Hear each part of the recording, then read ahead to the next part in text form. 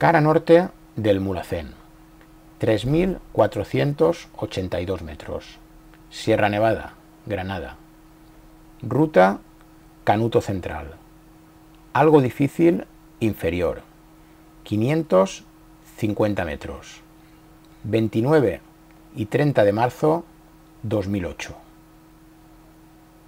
Hacía tan solo una semana que habíamos vuelto de Mallorca, de recorrer el GR 221 en la Sierra de la Tramuntana, y sin tiempo para poder montar y enseñaros el reportaje con las más de 700 fotografías que nos trajimos de la isla, ya estamos de nuevo en la carretera, metidos en otro proyecto, que como suele ser habitual se encuentra a cientos de kilómetros de casa. Pero como siempre nos lo tomamos con calma. Y hace tiempo que aprendimos que las prisas en la carretera y en la vida no sirven para nada.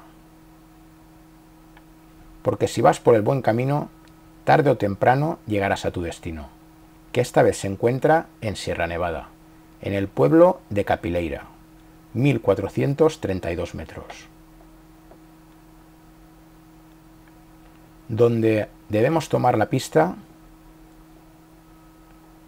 que ganando altura nos conduce a la área recreativa Olla del Portillo, 2.155 metros. Lugar donde comienza la clásica ceremonia de hacerse la mochila. Esto para ti, esto para mí. Al final, los dos cargados como mulas. Esperemos que merezca la pena, porque la nieve desde aquí brilla por su ausencia, y aquí sin nieve no hacemos nada. Y 12 kilómetros, 4 horas de aproximación, con todo esto a la espalda, para nada, sería una gran putada. Pero como siempre digo, esto es lo que hay. Si no quieres jugar a este juego, te quedas en casa y seguro que no fallas. Así que Arriba esos ánimos y vamos a confiar en que en la cara norte aguante aún la nieve. Como el camino va a ser largo, voy a tener tiempo de explicaros un poco la ruta, que ya habéis visto dónde comienza, y que sigue por una larga pista que sin pérdida alguna te deja en las faldas del Mulacén aunque nunca está de más llevar un mapa de la zona, para saber en todo momento en qué lugar estás y lo que, te, y lo que aún te queda por delante. A nosotros aún nos quedan 600 metros de desnivel por subir. Cuando pisamos las primeras nieves, cuando empiezan a aparecer los primeros problemas.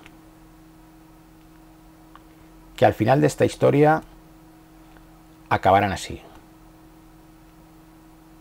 Pero Josebi es un tipo duro, de los que no se quejan. Mientras haya agua, claro. Jeje. En la Sierra de la Tramuntana no podía aguantar sin beber. Muchas horas. Aunque hoy no es su día. Como ya he dicho, Sierra Nevada no son los Pirineos. Aquí la altura se nota.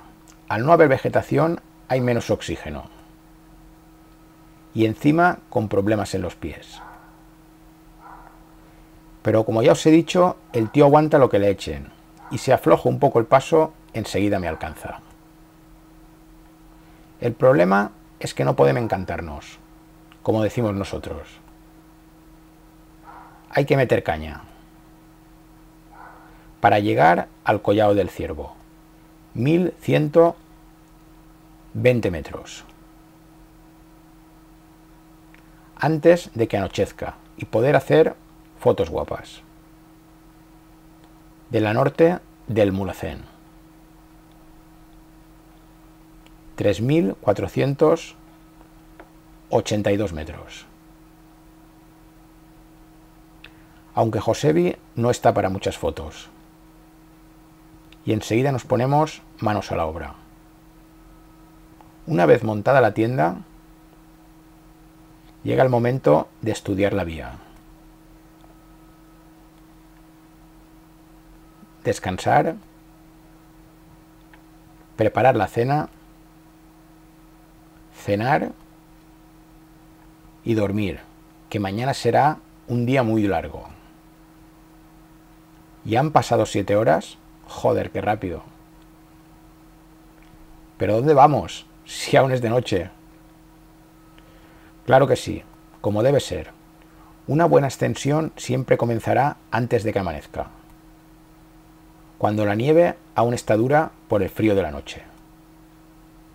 Así que vamos a por ella. Vamos a por la norte del Mulacén. Atrás queda el collado del ciervo. Nosotros avanzamos intentando no perder altura. Por una nieve que de momento aguanta bien nuestro peso. Y que ahí abajo cubre la laguna de la Mosca, 2.890 metros. Bueno, vamos a ponernos serios y explicar un poco la ruta. Para los que algún día quieran hacerla, como veis, ahí tenéis el primer embudo. Pues pasar de él y seguir adelante. Porque hay que meterse por el segundo embudo, que es el bueno. aunque a Josebi se le está atragantando la entrada. Venga, tío, que ya estamos en la pared. Ahora hay que superar un primer resalte de hielo duro y salir del embudo hacia la izquierda por una pala de nieve. sin ninguna dificultad. Pero que a mí, socio, le está haciendo sufrir. Intento animarle desde arriba, pero se hunde en la nieve a cada paso. Así que a esperar, esto funciona así. Nunca hay que abandonar a tu compañero cuando lo está pasando mal. Esta es una máxima que si no estás dispuesto a aceptar, mejor vas solo. Porque quizás él pueda ser el que en la próxima montaña te anime a ti. Una vez juntos, realizamos una travesía lateral hacia la izquierda. hasta encontrar la entrada al canuto central. Ahora ya no hay pérdida. Todo para arriba. Controlando la continua caída de piedras, que aunque pequeñas, cortan como cuchillos. Una de ellas me cortó el plumas. Hasta llegar al primer resalte Paso de dificultad. Un estrechamiento de hielo duro donde hay que tirar de piolet y grampones para subir. Pero lo hacemos fácil y no sacamos la cuerda de la mochila. Mejor así. No tenemos que montar reuniones. Aunque llevamos de todo, estacas, clavos, fisus, friends, tornillos. Da tranquilidad saber que si se complican las cosas, llevas material de sobra para salir del fregado. Bueno, siguiente paso de dificultad. Estrechamiento a la izquierda. Pero antes esperemos a Josebi, que el pobre lo está pasando mal. La altura lo ha dejado cao, pero ahí está, luchando. Venga, vamos para arriba. Que solo queda este pasito. y salimos del corredor hacia la izquierda por una pala de nieve inclinada. Dejando a nuestra derecha el centro de la pared, la ruta directa hacia la cumbre. Una escalada que no pasaría de cuarto grado, pero que tendrá que esperar. Suficiente ha hecho Josebi llegando hasta aquí como para meterlo en otro fregado. Así que vamos a buscar la salida de la pared. Avanzando lateralmente hacia la izquierda.